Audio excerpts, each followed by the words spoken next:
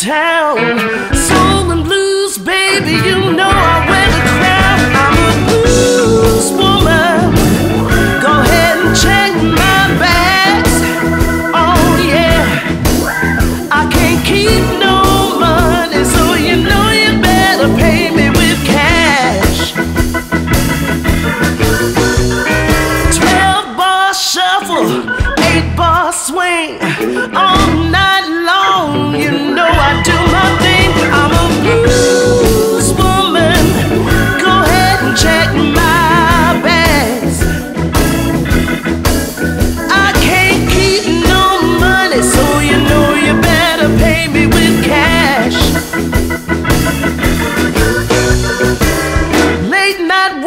back to my hotel.